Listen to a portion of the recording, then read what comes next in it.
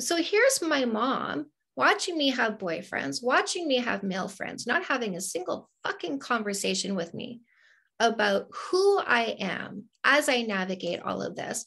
Lift me up with one hand, slam me down with the other. I think you're a whore. Basically, I'm paraphrasing what she said.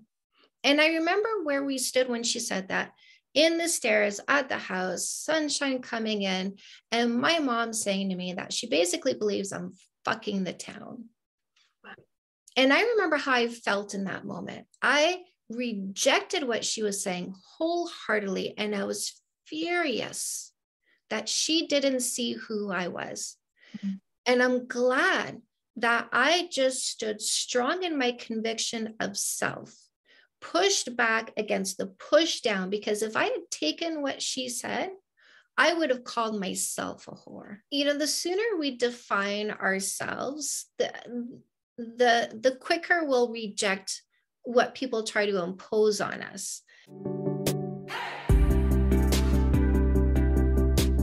Hello, beautiful. Hi, beautiful. How are you? I am so good. So this I- is oh, Go first. Go I was just gonna say I'm so excited about this. Look, look what I'm ready for. You have two of my books? I do. He has Comeback Queen and No More Assholes. Listen, I've had these books for a while because I am a marriage and family counselor. And so I run a couple singles group and a relationship group, and this is awesome.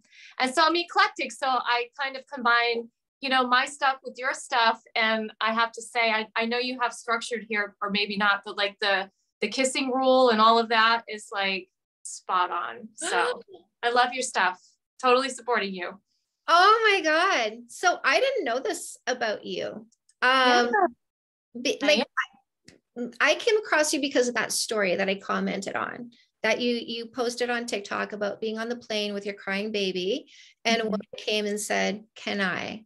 and yeah. she took care of your baby for you and it was such a beautiful heartwarming story and there was something about that that drew me in and what my brain said in that moment is i want to talk to her.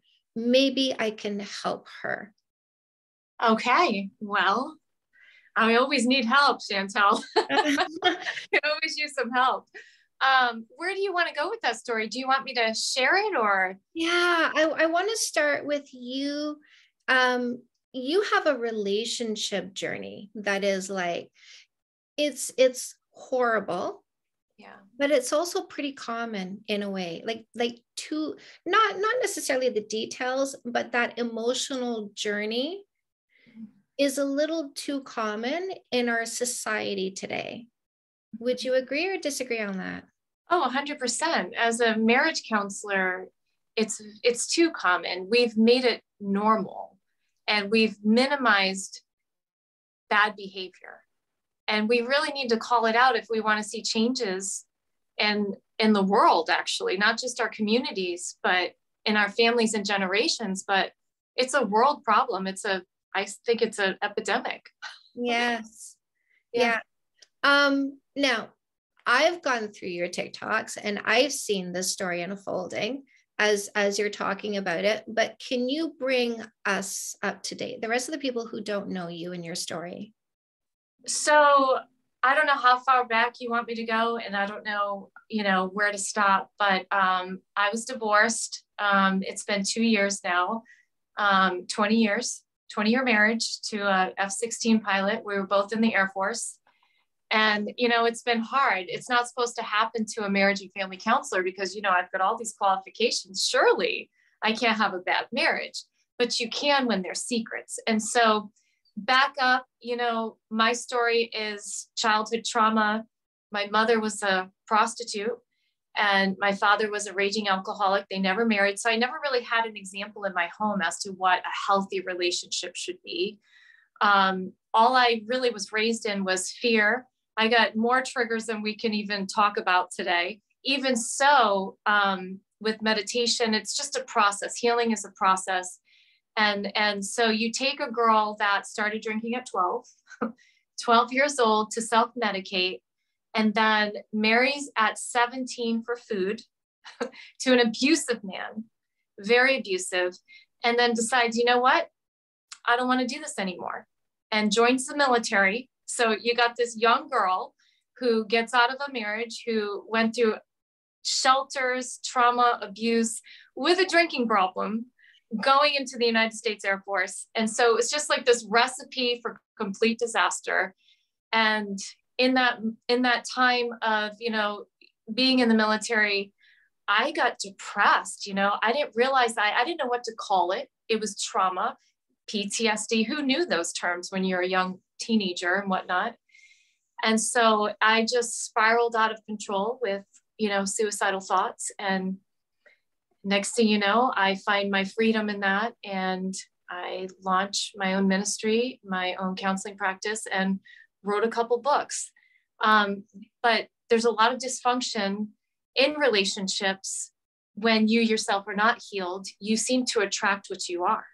And there are predators who really seek vulnerable, broken people. So you have to be careful. There's red flags everywhere. Yeah. And it's like it's it, this resonates so much. It resonates with me. It resonates with people who are watching, resonates with the people who are listening because you know something that I say about myself is I am common. I'm I'm like were you relating to me when you were reading my books, Lovely? Absolutely. No, because you're real, you know, and so I love that you cuss. You know, I, you know, if you've read my, my TikToks and all that or watched them, you know I'm a Christian. We might as well just throw that out there. But I'm a cussing Christian, okay? So so I have no shame in that, you know, being in the military, you know, I look at everything as like being on the battlefield. And I feel like sometimes there's a lot of power in words, and some people, there are going to be people that, you know, chime in and say, well, that's not godly. Well, here's the deal we're on the battlefield together. And when you deploy to Afghanistan or Iraq, you know, you're using language out there because you're facing your enemy. Mm-hmm. And the way I see all of these things, it's like either we're going to win or we're going to lose, and I want to win. And I can tell that you want to win, but you also want other people to win. And so, I mean, if I had my own podcast right now, there's a thousand questions I'd want to ask you because where did this come from in, within you? Obviously, I know a little bit about you. Um, and so I believe it's our, there's purpose in pain. You have had pain as I have had pain. And the victory for both of us is what do we do with this pain? Are we going to help others or are we going to just like stuff it under a rug and be like, well, they can fend for themselves? That's not who you are. Because yeah. if you were that way, you wouldn't have all these books, right? You obviously have a passion yes. to help people overcome. And I love that about you. Yeah. You know, and, and so mm, I'll get to where this came from in a second. You and I are like so many other people. Mm-hmm. And they resonate with us because they come from this this history of being in a home where you don't have the role models that you need being in mm-hmm. a home where you've been stepped on and so you are diminished as a person having to fight your way to confidence and self-esteem and owning yourself as a person taking control of your environment no longer letting people do things that are bad to you I left home at 17, got into a relationship myself to escape my mom, only to get myself into another bad situation because we seek what's familiar, even if it's wrong for us, having to break those bonds of that mm-hmm. pattern of recreating toxic environment after toxic environment because we don't know that something else even exists. Right. And so we are attracted to the familiarity because it feels like home. Absolutely. Well, that's love, right? So I had an abusive dad and he was an alcoholic. And so, guess what? My first marriage, abusive, verbally controlling, and an alcoholic. Why? Because that's the love I saw in my family. That was love. Control, abuse was love. Yeah. And love isn't always functional. No, no, no. And the, the interesting thing is, it's like love is so powerful. So you can love and hurt or you can love and love. Mm. And so when you finally find the love and love piece, you don't settle for the love and hurt anymore because you finally have the experience. See, love is an experience. It's not something you say, I love you. It's an experience. And when you experience love, you can't explain love. You can't define it. You have to experience it. And so when you finally experience this great love, you never go back to to a counterfeit love. Yeah. Mm-hmm. I, I, remember one time my husband, we fought for 10 years. We haven't had a fight in seven years now. But in those 10 years, uh, one time he's actually twice, and then he stopped saying that. He said, What are you going to do if we break up? Nobody's going to want to be with you. You're a stripper. And I said, I guarantee if we break up, I do better than you because that's what I do. I always level up. well, certainly so. and so, well, I think that's interesting because you're you're not so what you were a stripper you know at the end of the day who cares? Like i maybe i was a stripper i just didn't get paid for it you know what i mean? Like we can all be first we can all be prostitutes at the end of the day some get paid some don't. I mean but it what it's about is really understanding and developing who you are. I think your story about being a stripper can be used to help strippers yeah. i mean so for me it's like there's nothing wasted under the sun if we don't want it to be. It could be your superpower. Being a stripper can be superpower. Well, Being a prostitute can be superpower. Being an addict can be superpower when you allow it to help other people. So mm-hmm. you overcame, like you started off as a stripper, right? By the way, I have a twin sister. She was in the industry as well. Nice. Um, and so funny, she used to ask me, Hey, Mayor, she calls me Mayor. My name's Marion. Mayor, you know, if we did this thing together. And so, oh, yeah. person, I guess, right? And so, um, but my point is, I think that there are a lot of women that are stuck in shame because of that, or because of their addiction, or because of their abortion, or whatever. It says who? Yeah. You use these things for good when you write books like this to say, look, I didn't stay there or that that's not all I am. I'm so much more. Like I'm intelligent. I have purpose, I have value, and I have an identity. And a lot of times we allow our trauma to define us or that man. I have such a problem, and I'm not here to bash men on your podcast, but like women make man gods, like literally, like an idol. It's like guess what? I just gave you power to determine my worth. That's the first problem. Yeah. You're not going to determine my worth. I get to determine my worth. And I've heard you say, you know, body counts, and we get into so much stuff, and it's so hypocritical because a man will judge a woman. He can have a hundred or so plus body counts, but if a woman does, oh no, you know, she's a hoe. We can't bring her home to mama. And it's like there's this double standard that drives me bonkers. Mm-hmm. equal. There is, you're not above and you're not below. We're supposed to be equal here. And so I love how you shed a light to all of that. There's a lot of double standards in the dating world. You're a dating coach, and I'm sure you see that all the time. Oh, definitely, I do. Um, definitely I do. And that, that's why we use a no kissing for three months dating rule. We let them talk. If they're one of those, we just don't select them. Yeah, I know. You're so to the point. I'm like, I love this woman. She's just so to the point. You're like, no, goodbye, next, you know, and so, but why do women, you know, and it boggles me, I'm sure as it boggles you, because I'm in an office and I'm dealing with this stuff a lot. Yeah. It's like they put up with so much. They, it's like they allow the lies. Yeah. And I believe a woman's gut instinct is 99% accurate. Mm-hmm. This thing that we have is a gift. Yeah. And if you think he's cheating or she's cheating, you know, because I don't want to just emphasize on the women, men go through hell too. Women can be master manipulators. Women can be narcissists. And it's so it works both ways. So I try to play equal when I speak. But you know, at the end of the day, we are permitting this behavior and it will never change until we change something. Yeah. And and I think the reason why they do that, like it there's a variety of reasons why they would put up with it. There's fear. I'm afraid if I leave this relationship, I won't find someone else, right? There's certain qualities about this person that I'm afraid I'll never find somewhere else. And I've certainly been there myself, you know, looking at certain aspects of, of one person and saying, I doubt I can go find that exact same those aspects plus what I need, right? So I'm afraid if I let them go, I let go of these aspects forever. And another reason why they might be putting up with that is the cultural brainwashing that I'm actively undoing, which is a two part brainwashing. Part one, you kiss a stranger just to find out who they are. So kiss and have sex and get the data after. You've developed emotions, which means you're committed, which means you're involved. Step two is the brainwashing that says fighting is normal, fighting is healthy.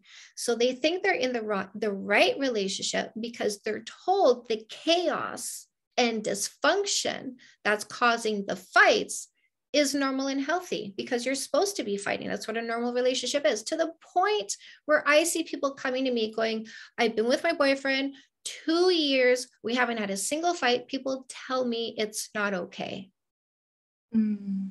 Wow. So kind of normalize that, huh? You know, the world is just, it, it's crazy. it's crazy on every level. It's really hard. I mean, this generation, my kids' next generation, it's just getting more complicated. And, and I think that we could help change that. But we also need an army of people to come around us to support this. And I think, you know, back to, I really believe, like you and like me, I didn't know that I didn't know what I was missing. Mm-hmm. I didn't know what a healthy relationship was. And to your point, I have to say, after getting out of this marriage, I still am seeking that. I don't think I've ever experienced it, thought I did, but apparently not.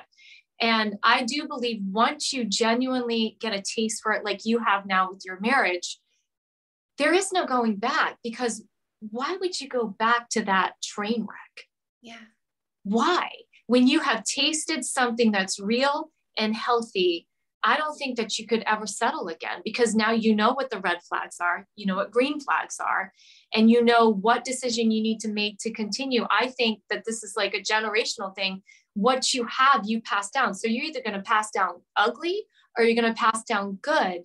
And you came so far in the fight to say no more. That's exactly what you did. You're like, no freaking more. I'm yeah. done. But the hurdle is going from where you are, which is love is dysfunctional. And I get into dysfunctional relationships because I don't know any better. The hurdle from there to this more loving, more functional relationship is your confidence and faith in yourself that you deserve this and you can have it what what was what had you jump from where you were to where you are? What was what was was it was with a specific thought a specific moment? Well i mean it goes back to my faith really. You know i'm a woman of faith and um when I realized that my worth wasn't in my upbringing, you know, I wasn't the daughter of a prostitute. I wasn't the daughter of the raging alcoholic. My father was a felon. I mean, he was in the mafia. It's crazy. And I was so shamed by that. And then, you know, my identity is not I'm an alcoholic or I'm this sexually immoral woman. Um, it took rock bottom to actually, it was necessary for me to hit rock bottom the greatest setback, Chantal, became my greatest comeback. And I say, for me as a woman of faith, I'm gonna say it was God. Mm-hmm. Um, I had like an awakening, if you will. I was desperate. I was suicidal, and you know, I had this encounter. And I do believe in God, and and so that's part of my story with my book, Broken No More um, that's where it began. That's where the journey began because um, I wasn't a Christian growing up. My God, I was.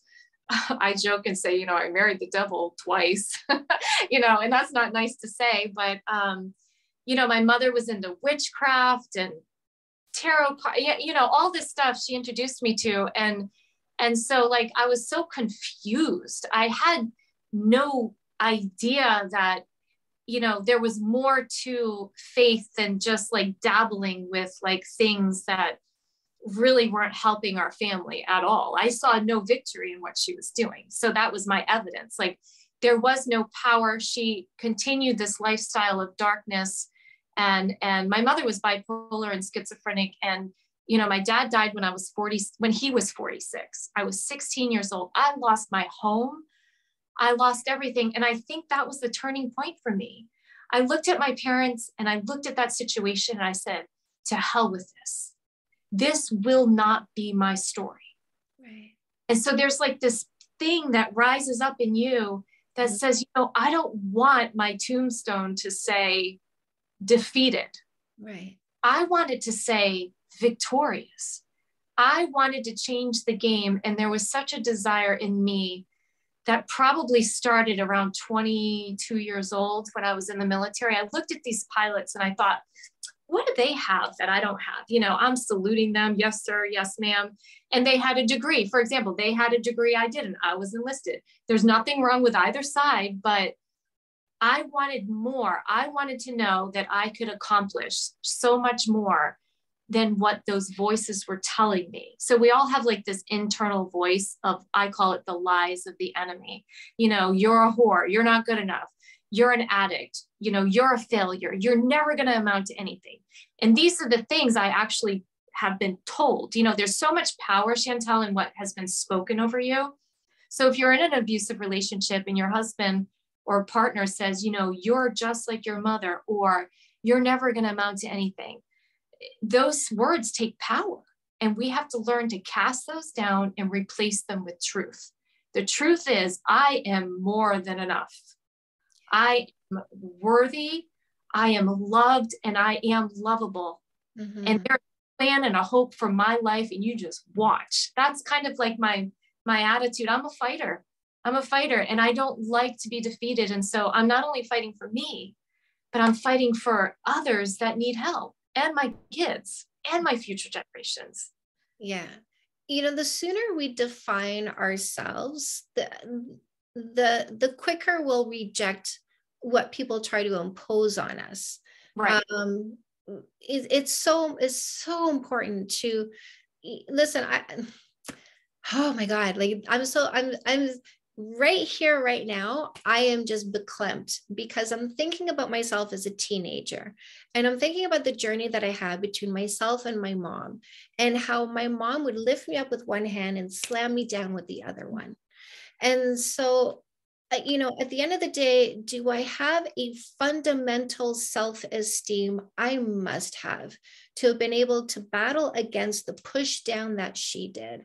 Because I remember, you know, uh, here I am as, as a teenager, 14, 15, 16, 17, defining myself and my sexuality, mm-hmm. having boyfriends at 14, breaking up with them after three months, each and every single one of them, because at three months, I would really get the feeling they wanted to go further than I wanted to. And I didn't want the hand on my shirt and I didn't want the hand on my pants. And I wasn't ready for that. And so I would break up with them at three months because I knew they were wanting that eventually. And so, me being in charge of my boundaries, my sexuality, here I am at 16, having my first boyfriend, um, the first one that I fall in love with, the first one that I'm keeping. And I'm going, you know what? It's six months in now. I haven't dumped the motherfucker yet. And I'm mm-hmm. probably going to be having sex with them because I'm in love with this person, going to my sister at 16 saying, Hey, you know what? I'm thinking about having sex. Can you tell me about your experience? Because she's three and a half years older than me. She says, Let's get you on birth control, takes me to the doctor, gets me on birth control. I'm secretly, I think, on birth control because I don't think mom and dad know because my teenage sister took me. Um, actually, apparently, my mom had had a conversation with my sister saying, if Chantal comes to you, take care of her in that sense because she might not come to me. So they actually conspired.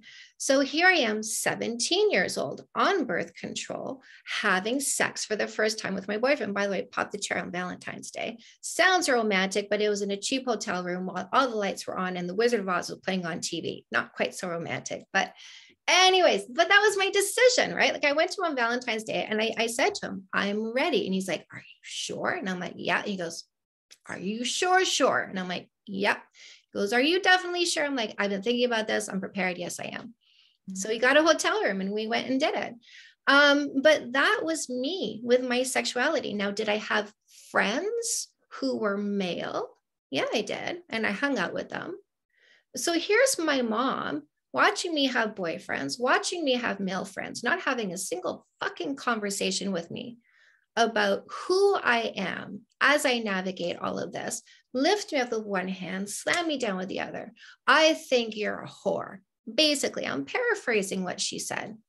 And I remember where we stood when she said that in the stairs at the house, sunshine coming in, and my mom saying to me that she basically believes I'm fucking the town. And I remember how I felt in that moment. I rejected what she was saying wholeheartedly, and I was furious that she didn't see who I was.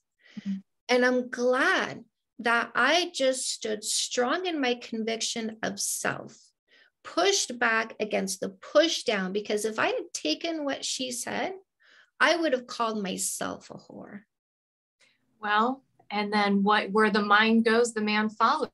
There's so many women I've counseled where those words have been spoken over them, such as myself.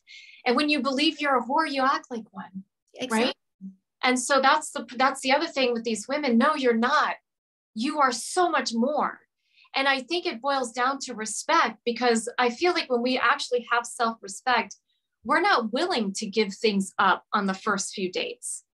We can have fun if we want to, by the way. And and I, I wanna I want to stipulate that. My mom was calling me a slut, paraphrasing. She didn't quite say so in those words, but she was saying that because I, I there's you know there's a even if I was sexually free mm-hmm. and exploring like I did in my 20s, even if I was doing that then, there's nothing wrong with it. The fact that she tried to play that card on me like it's a bad thing for me to be having sex and making my own selections and making my own decisions about who I'm going to be with, saying that in a negative, like not even asking me what my sexual experiences are, but just trying to paint me in a negative light based on her own misconceptions and judgments. How did that impact you? I mean, this is your podcast, but I want to ask you. No, I love conversation. So, your relationship with your mom, Yeah. was your mom like a little bit on the narcissist side? Was she emotionally abusive? I mean, obviously she was. yeah. How did that impact you? And is that one of the forces and drives behind your books to say, you know, I'm writing to these women who have experienced what my mother has done to me? Is that part of where that got stirred up? my my relationship when i left home was an abusive relationship i basically replaced my mom and so uh so the the cycle of abuse is is so nefarious because listen it didn't start with my mom it started with her mom and who knows who knows what happened to my grandma. I don't know but something turned my grandma into that monster which turned my mom into that monster. And it turned me into that monster. Because not only did I get myself into an abusive relationship, but I myself was also abusive, starting at the age of four, no less. I remember I, I got a doll for Christmas. And so I remember age by homes that we lived in because my dad was military. And so we moved around, right? And so I know that I was five in this house. So the Christmas that I remember in that one, I was four. So I got a doll at four. I remember sitting in the living room by myself after all the gifts were unwrapped. Everybody was in the kitchen, and I held my doll and I was overcome by a sense of rage. And I. shook my doll in rage. That's the first moment of rage that I remember doing. Here I am in grade one, being abusive to the family pet Wow. the cycle of abuse had taken hold and i was now not only being abused but i was also a perpetuator so that's the effect that this had on me i chose bad boyfriends i chose abusive behaviors as a child i wasn't choosing them. I was i was enacting the rage that was developing inside of me. Um, so i'm going to take back the word chose abusive behaviors. Um, I stopped choosing abusive behaviors as an adult. That's when I decided to change and take control of myself and no longer enact this in an uncontrolled way. As an adult, you can choose to do behaviors that make it easy to choose your behavior. So, meditation outside of amped up moments means amped up moments are less amped. So, mm-hmm. then as an adult, I changed my behaviors. But here's another impact that it had growing up in an abusive home I got my tubes tied because I need to control my environment in order to be the calm person that I am. And you you know you have kids, you can't control that environment. No, and they're teenagers, and it's even more uncontrollable than ever. um, you know, that is that is one of the stories that um, what you just shared.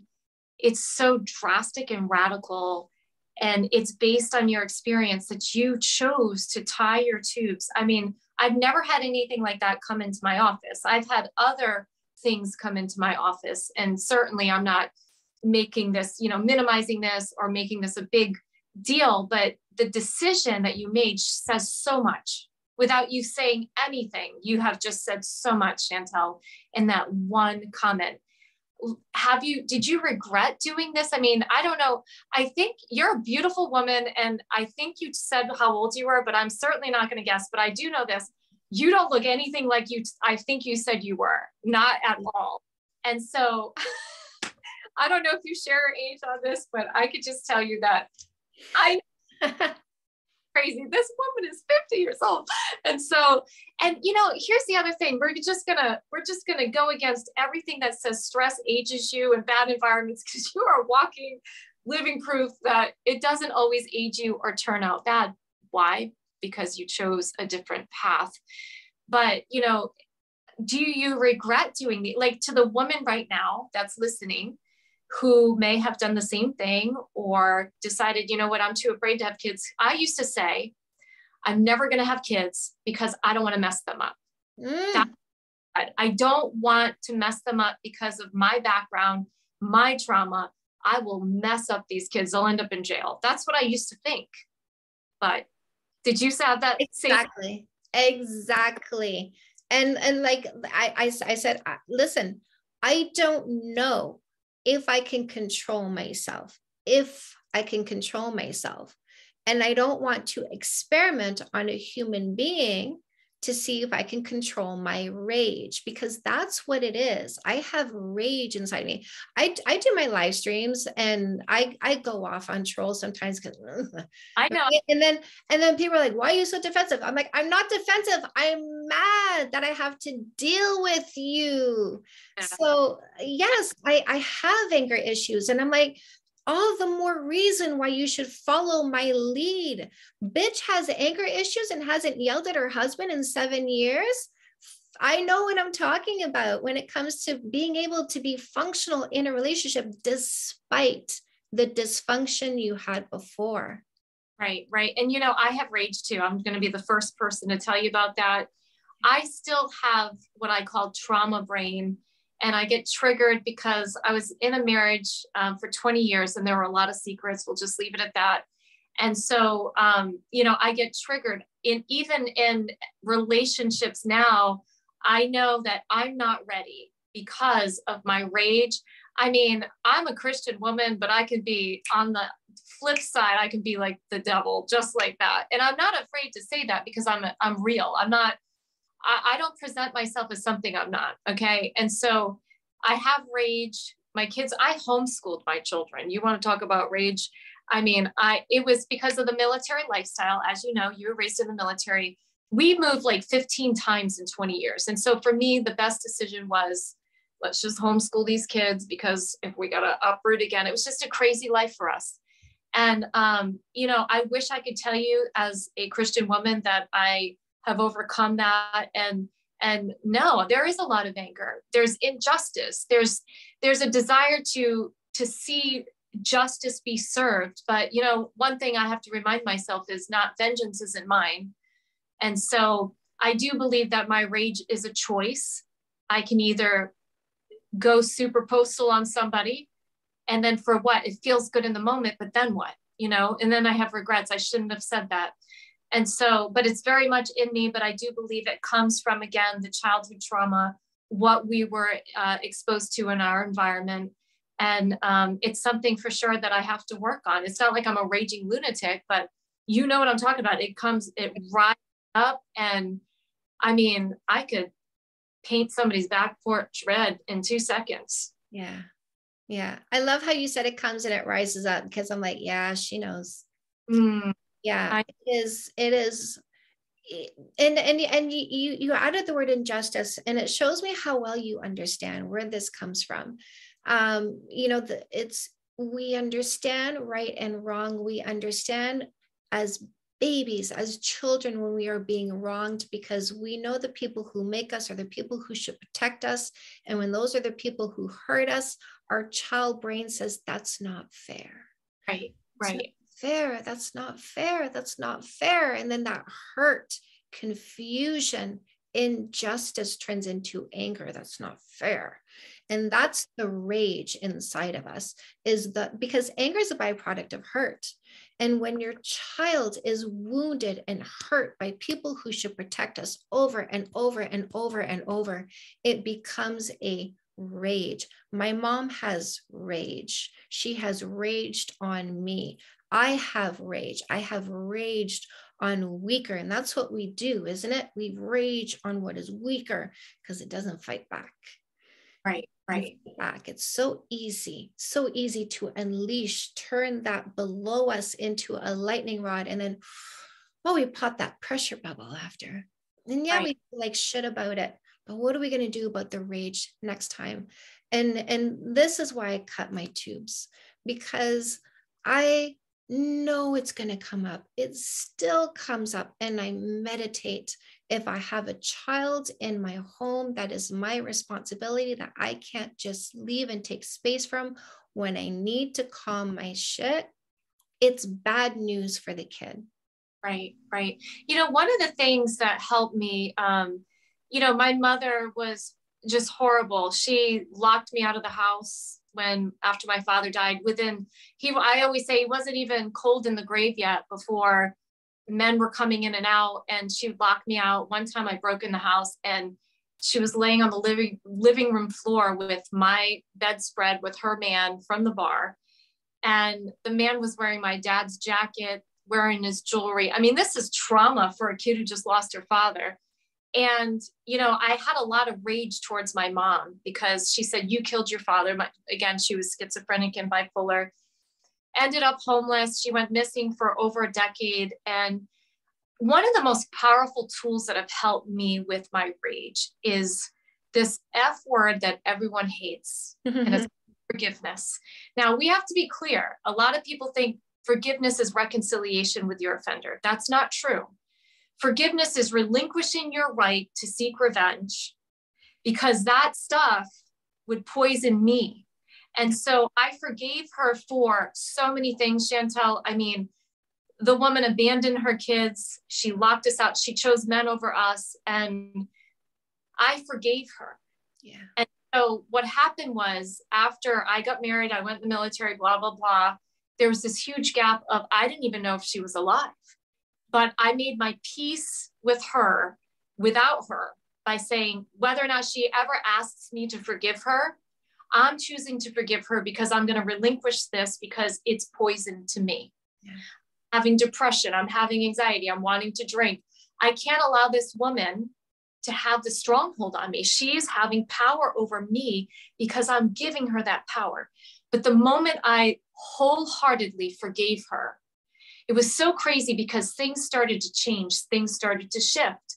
I began to see her as a broken woman, not the woman who was horrendous to me, but I began to empathize.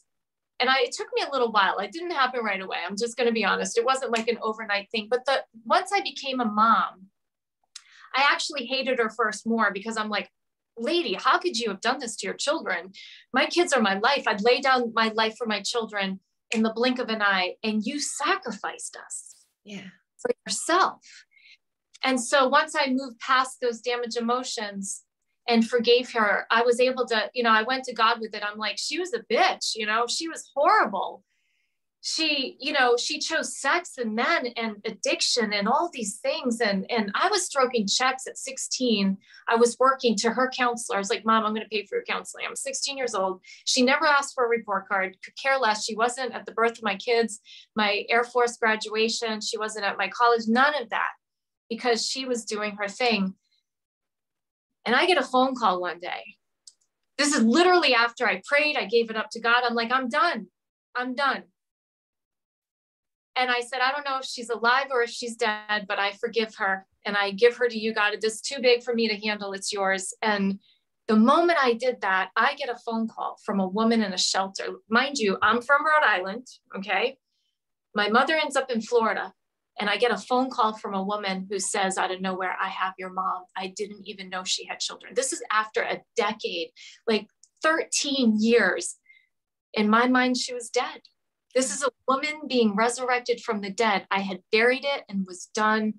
And now what do you do? She's back. She's back. And she said, I have your mom. I didn't know that she had children. She's skin and bones. She's in a shelter and she's waving at things that are not there. Again with schizophrenia and she's drinking rubbing alcohol and she's been arrested numerous times.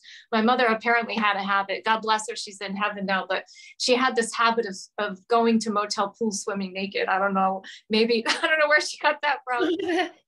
That was like the biggest thing she did. She just liked to swim naked and um, you know i guess skinny dipping is a thing. It was for me way back when.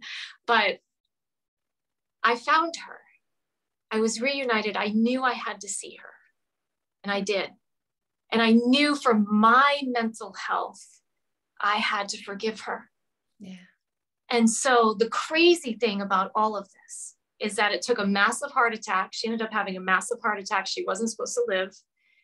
I find her. She comes home back to um, my sister's house, and I get like three more years with her. And in those three years, I never expected this. I sat her down, I brought her to this home right behind me. And I was telling her my story a little bit because she's, again, she's not all there. She's had strokes. She's like on her deathbed. And I said, Mom, I just want to tell you that this is what you have missed. And this is who I am. And I have this ministry, blah, blah, blah. And she goes, she looked at me like, as in that moment, she was completely like in, had her head back. And she said, I am so sorry oh. She said, I am so sorry. And she started to cry. I never thought I'd have this healing. I never thought I didn't expect it. I buried it and I was going to be healed anyway. And she said, I'm so sorry I did that to you. And she hugged me. And it wasn't long after that, she ended up having another stroke. And my mom, when she died, it wasn't on the streets, it was she wasn't homeless. She died in the presence of all five of her kids. And I was so thankful. But I do think, you know, we talk about like manifestation and bringing good vibes and all of that. For me, I believe that my forgiveness allowed the power for that to happen. It doesn't happen for everybody. I get that. But it wouldn't have happened if I hadn't forgave. Right. And so it healed me that day it closed the wounds. I was going to be healed no matter what because I chose to forgive, even though I didn't feel like it. See, a lot of us feel like we have to feel good to forgive somebody. No, you have to forgive first to be healed because you may never get that part to them.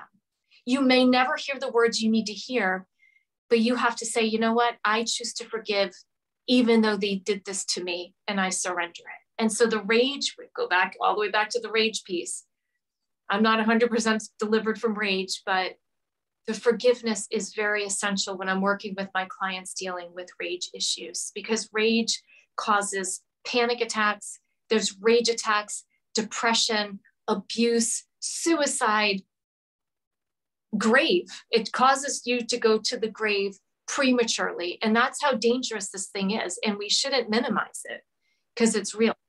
I agree um, you know, you, like you you talk about how I look at 50. And and this is the result of lowering my cortisol levels because cortisol is the stress chemical, cortisol and adrenaline, right? This is what you go through when you're in this highly amped situations, fighting with your partner, cortisol, fear, adrenaline, fight or flight, this cocktail in your body is so damaging to you. It literally tears your cells apart and will age you prematurely. And, and I came to terms with my mom by looking at her history, by creating understanding. With I, I like to say, with understanding comes compassion. And compassion is the opposite of anger and lack of acceptance and frustration. And so I, I, I wanted to get to that place where I wasn't so angry about what she did to me anymore. And what I did is I went into her history. I went into my dad's history too, because I was mad at him. Why did you let this happen? Why didn't you protect me? I went into both of their histories to understand why my history developed the way it did. My mom was abused sexually, physically, violently, violently, violently abused. And, and so, how could she not be that person? If mm. she didn't do the work herself, right? right? She carried that anchor and then unleashed it onto me. I was the one who was the lightning rod.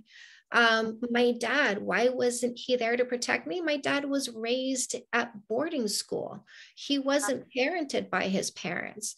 And so he parented the way he knew how, not really quite being there. right? Because parents weren't a presence in his life so he didn't know how to be a presence so so much in mine. And he didn't know like my mom would say to, to him you know eh, you need to punish her more so i punish her less basically. She wanted uh-huh. him to spank me. I remember the one time he did. Uh i was in grade four. He's he put me over his lap and he spanked my butt like my mom would spank me with their wooden spoons. And um uh, he said that hurt me more than it hurt you. And at grade four, I'm like, yeah, right. But yeah. he he didn't do that again because he hadn't done it before because he didn't want to. He didn't do it again because he didn't want to. He didn't want to be that person. If he gave me a punishment, it was writing something a hundred times because that was yeah. the least violent thing he could think of. Um, so I looked at my mom, I looked at my dad, and I went, okay, I understand. And now I feel compassionate about how they raised me. And I forgave them. I forgave them each, and it gave me a whole lot of peace of mind. Right. And, you know, I look back on my own history and my own acts of violence. And do I forgive myself for what I did? I do because I understand it. Do I regret what I did? A million percent. And I see regret as a good emotion because it keeps you from repeating things that you shouldn't. Good. That's good. You know, last I wanted to say this regarding the rage thing. Um, you know, this is going to be hard for me to say to you, and I hope you don't take offense. And, and I, I say to my clients, and we do this at my counseling intensives, you know, when a woman comes in, to, I've counseled, I counseled a Playboy centerfold, right? She was in Hugh Hefner's palace, and I've counseled priests, I've counseled CEOs, I've counseled heroin addicts. I had a girl do heroin in my bathroom you know, um, I had a, a woman show up to one of my uh, events completely intoxicated, but that's who I am. This is what the ministry is for. It's exactly for these types of women and men. And um, I hear you speak, and I hear, of course, I would love to go in there, Chantal, little Chantal, and rescue you because that's my heart. It's like, oh God, I wish I could just go in there and pick her up and say it's okay and mother you. And but what if that's exactly what needed to happen, Chantal, for you to be Chantal Heide? Mm. Oh, yeah. I needed to experience those pains so that I would have an assignment mm. and understand the assignment. I have written thank you letters and I've had the women that have come through my program sit down and I want you to write a thank you letter for the things that you have and the things that you don't have and even the things that you never thought you'd be thankful for. Yeah.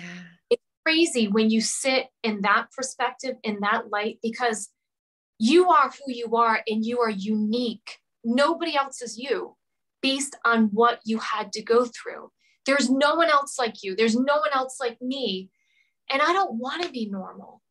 I don't want to be some cute blonde that has doesn't I don't trust people, Chantal, who don't limp who are next to me on the battlefield. This is like military perspective here. If we're going to war, I'm not going to choose the sister over there that's crying over her nails not matching and how they didn't do it right and they didn't match the collar up. I need somebody who's badass woman who has scars from head to toe that says, you know what? I may be limping, but I know how to win this war. And mm-hmm. that's what this world needs. They're not going to listen to anybody who can't speak or earn the right to speak into their life, I'm not going to risk. Okay, so you know, I do this church thing, right? Okay, so again, I'm not knocking the church, but it's very difficult for me to listen to a pastor who hasn't gone through hell. You're just quoting the Bible, which again, no disrespect, but the woman over here who's been raped by her dad 200 times, who's been left in a parking lot by her first husband to raise a child single handedly, who survived breast cancer, and has been abused, I'm going to listen to that. Yeah. Because she has just earned the right to speak into my life. And you know what? I salute that woman. And so when she speaks, you feel it. mm-hmm. because coming from a place that you have to earn. And so there are powerful speakers, and then there are speakers that should just maybe read audiobooks or something. But my point, and I'm not trying to be a jerk or an asshole, but it's like, you know, there are people who haven't, this is why people get injured when it comes to counseling, when it comes to um, coaching, when it comes to churches and all of that. It's like, you've got to earn the right. Don't, don't throw stones at that woman because she's still stripping. You don't know her damn story. Don't throw stones at that woman for having 10 abortions. You don't know her story.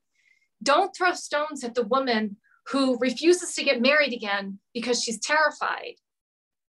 Don't do that. There's only, to me, there's only one person, you know, as a Christian that has earned the right to do that. And guess what? He's not doing that. He wins with love.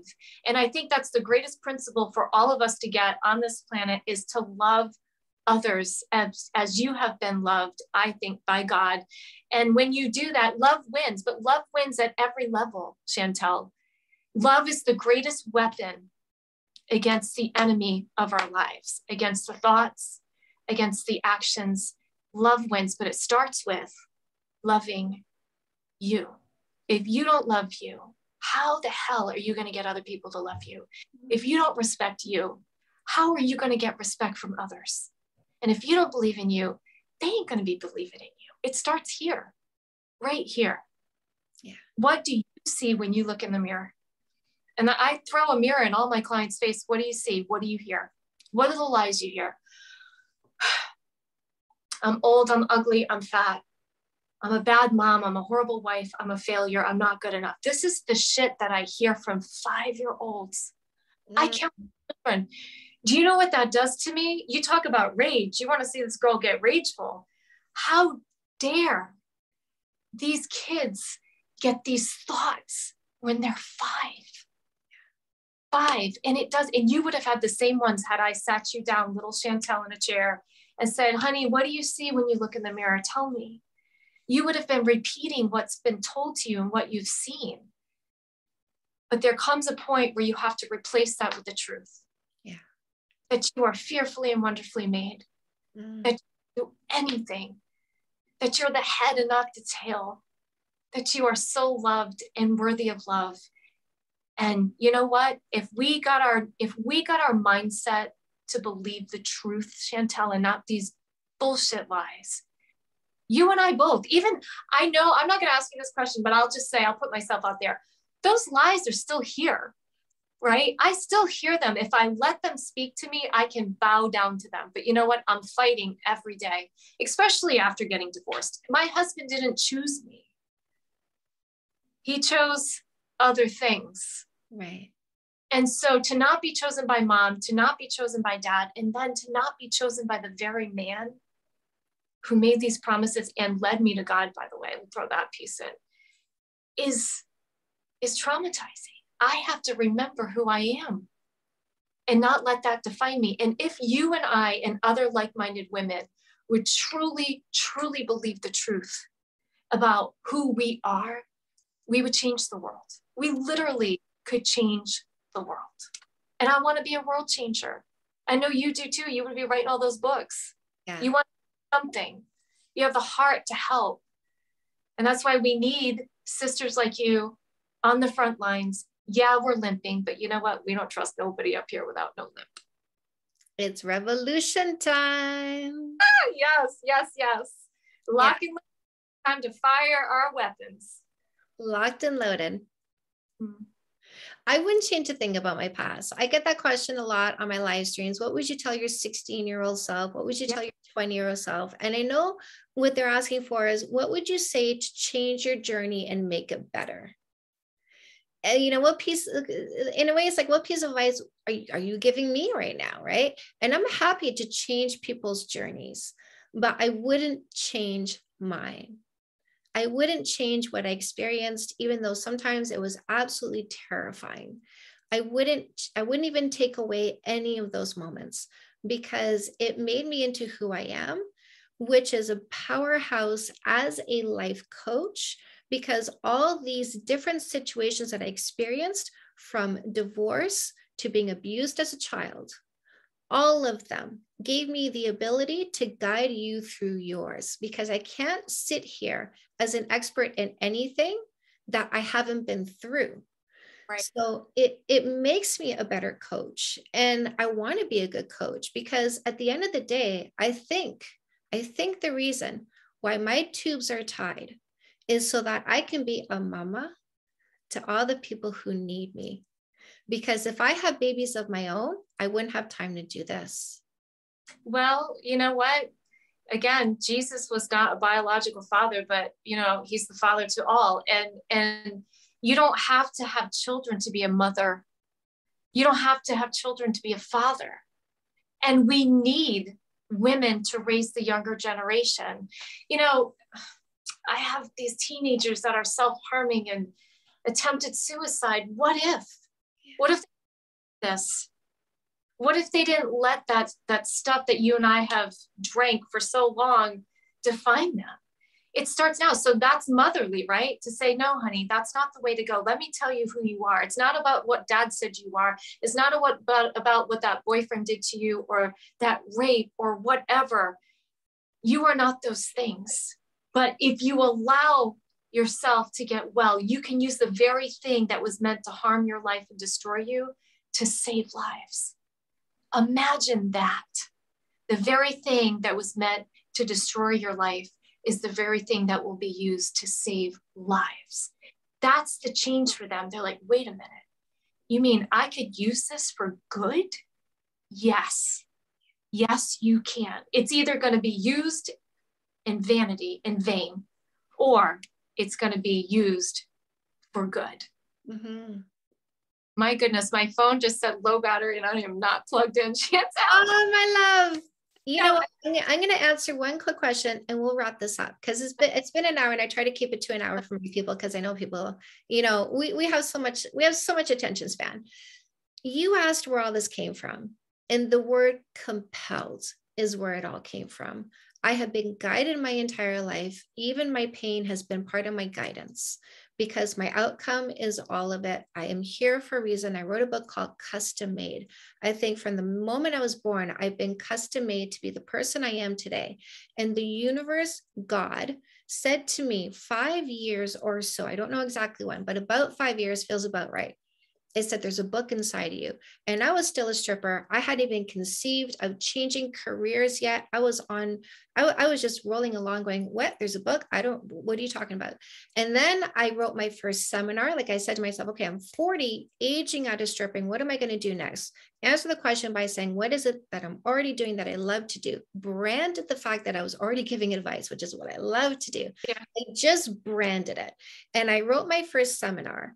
And the first seminar became my first book, No More Assholes. And the un God, I'll say God, right? And it was just like, there's more, there's more, there's more. And it was pushing me like a freight train. It was incredible. So God is yeah. what had me doing what it is that I'm doing because it guided me from day one, showing me the things I needed to learn so I could teach them to the people I needed to teach. I'm so glad you are here. I'm so glad you are teaching right alongside me, getting this word out that yeah. self love is where it starts. That's right. And you know what? We're going to say God. I'm going to give credit to God for that. There's a book in you, there's a book in me, and there's still more books to be written, right? And it's not just us as the authors, it's those who are listening right now. I feel like there are people that are being prompted right now to even get their story out, to be encouraged to use their pain for good, there's purpose in all of that. And I thank you so much for your podcast because whoever's listening, I know has been touched and inspired by what you're doing. So thank you. We love and appreciate you so much. Where can we find you, Marianne? BrokenNoMore.com. Just everything's on there, BrokenNoMore.com. If people want a copy of my book, we even have t-shirts for crying out loud, um, or they can have individual counseling sessions with me. So thank you. And is it Toxic No More on TikTok? Toxic, oh, that's right. TikTok, Toxic No More 22 for this year, 22. Yep. Thank you so much. Thank you, Chantal. It's been an honor to meet you and talk to you. I love your books, and I'm going to be leading group tonight, actually, at seven o'clock with some of your material. So Oh, I love this. I love this. Thank you. I appreciate you so, so much. Can't even say that enough. Thank you so much for being a war hero, girl. We need you. Thank you, you for that, Marianne. Bye.